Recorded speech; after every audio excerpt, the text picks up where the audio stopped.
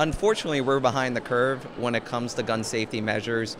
States like Maryland, New York, New Jersey, they have all taken proactive steps to get guns out of the hands of criminals by simple common sense measures, whether it be lost or stolen legislation, where if you lose your, your car, you have to report it to the state, but if you lose your gun, you don't have to report it to the state. There's something inherently wrong with you not having to report a, a lost or stolen gun to the legal authorities. I have a bill which would put a maximum capacity on the amount of rounds within a clip at 15. The, the uh, heinous person that was behind the, the acts in, in Newtown, Connecticut, he was able to fire so many bullets because he had a capacity beyond 15 rounds. My bill, along with Representative Madeline Dean, aims to put a limit of 15 bullets in each clip.